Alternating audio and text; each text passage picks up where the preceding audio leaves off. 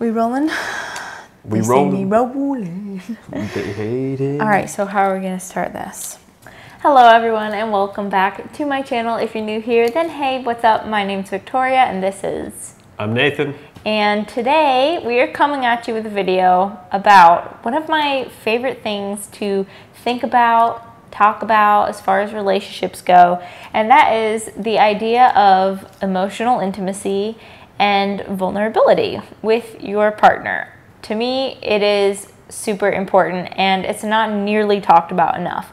So I wanted to make a video and talk about it. Plus, you know, Valentine's Day is coming up next week, Tuesday just a couple days.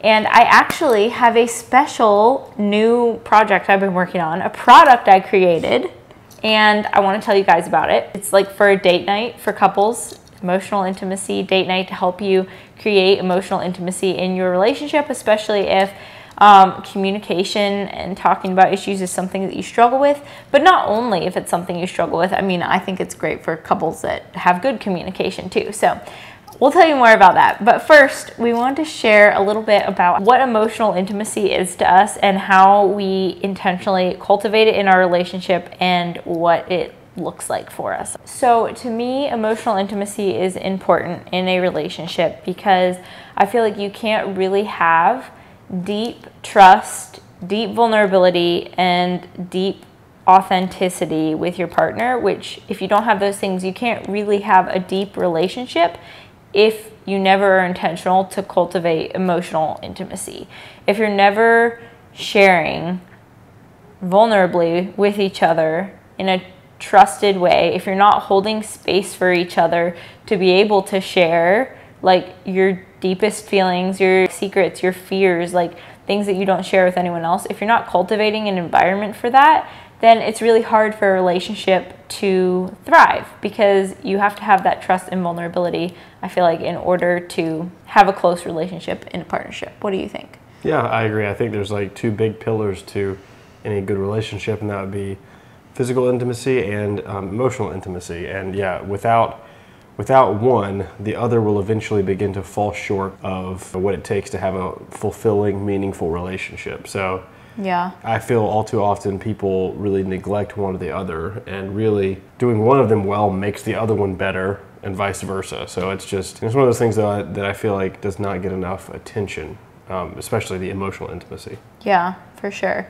I just feel like the relationship that you have with your partner when you're emotionally connected is so special because like you can tell anybody like I love you. You can like be friends with anybody or talk about things, but like when you have both of those forms of intimacy, when you have emotional intimacy, it's like sharing the deepest parts of you, like your soul and it being received and then it's like I know you. Mm-hmm. You're the only person in the world who really knows me and still chooses to love me and want to be with me.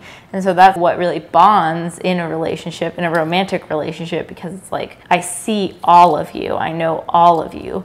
Not just physically, but like inside too. Your, your fears and your stressors and your frustrations and your dreams and your hopes. And like, I still choose you.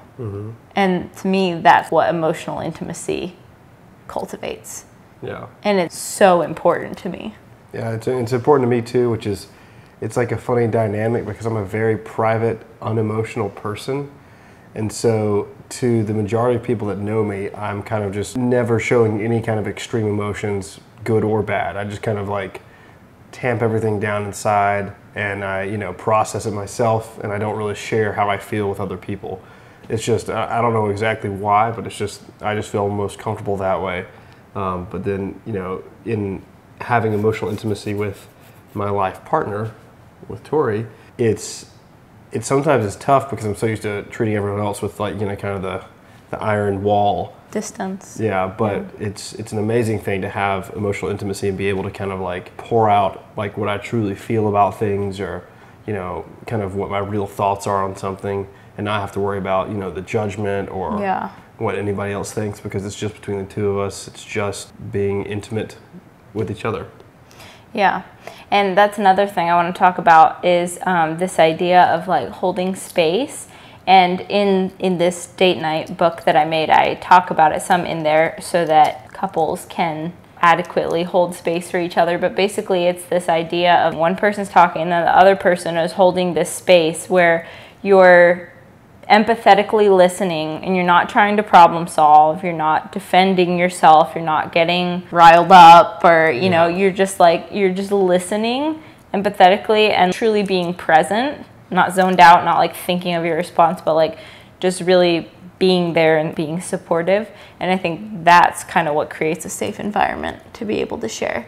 When you know that what you're going to share, they're not going to get mad about it. They're not going to have a bad reaction because you've cultivated this safe environment. So I guess I'll just talk about my guide a little bit now. The date night that I made, Go we, we went through it the other night. It was good. uh, yeah, it was fun. So basically I it's broken into three sections. So we start out with conversation starters and they're just like casual fun questions to get the conversation going and so there's 15 questions that are just like chill casual conversation starters and then there's exercises. There's like six exercises, I think, to help create a safe environment where your nervous system can be calm and where like your nervous systems can sync up with your partner and you can be like on the same wavelength if that makes sense. Like you can really be um, feel secure and just like create that safe environment to be able to emotionally share.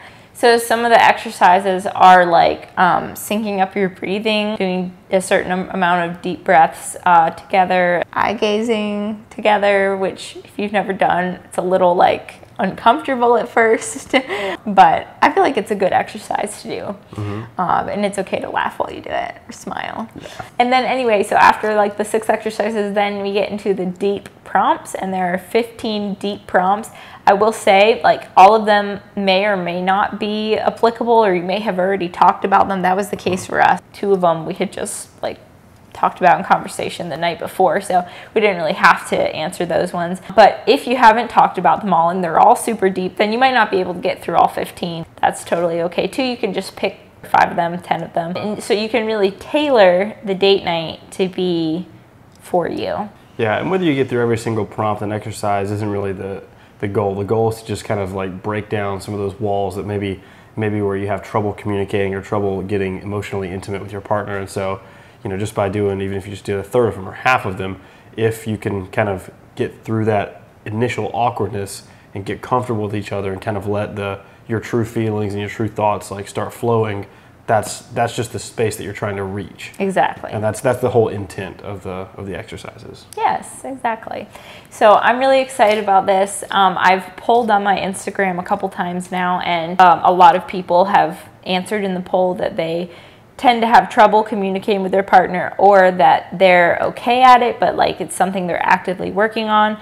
And so i think for any couple whether you're great at communicating or not um, this guide could really help you create emotional intimacy. And since it's valentine's day coming up i felt like it'd be the perfect time to release it. So the guide is live right now, live today. So go to the link in my bio, check it out. It's super inexpensive. I want it to be accessible to everybody. So yes, I would love it if you go check out the guides. Yeah, ask yourself this: Would you rather have uh, a box of chocolates and flowers that are going to be gone in a day, or would you rather be able to build emotional intimacy with your partner and they can help build up your relationship for decades to come? Yeah. Which is more valuable, you know? I personally have always had trouble buying flowers because they die so quick. It just does not feel like a good value. But something like this, I can see the long-term investment of it. Yep. So, I wouldn't mind some flowers this year, though. What so, what flowers would I want?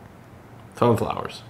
Yes, you know. Of course I know. All right, thank you guys so much for watching, and I hope that you have a wonderful weekend. Stay wild. Peace out. Bye. Get wild for Valentine's Day. Nathan. Stay wild. Bye.